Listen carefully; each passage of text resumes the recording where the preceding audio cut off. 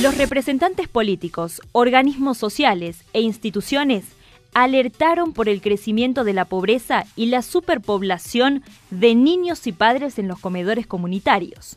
En este contexto, piden la emergencia alimentaria.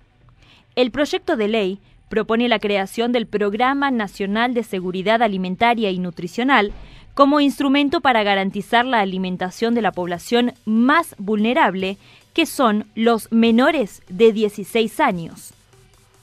El proyecto propone incrementar las partidas presupuestarias para merenderos y comedores comunitarios y contempla una distribución de 10 mil millones de pesos para fortalecer la asistencia.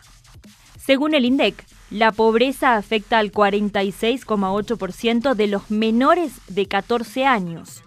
Además, un informe de la Universidad Católica Argentina asegura que 4 de cada 10 niños, niñas y adolescentes se alimentan en comedores comunitarios. No hay una alimentación correcta y que muchos eh, hogares de, la Argentina han suprimido una de las comidas y eso nos preocupa mucho. Y en, los comedores, en los merenderos, eh, lo que más nos preocupa es que es en las escuelas, donde los directivos docentes tienen que hacer malabares con los recursos que reciben para eh, alimentación en lo que es desayuno o almuerzo o merienda y que no están teniendo y que ya han, se ha cortado la cadena en los cuales muchos comerciantes eh, no le, no le fían ya y bueno, eso hace que eh, esté faltando y sea ya no una preocupación. Por eso este proyecto tiende a ocuparnos concretamente, se ha logrado instalar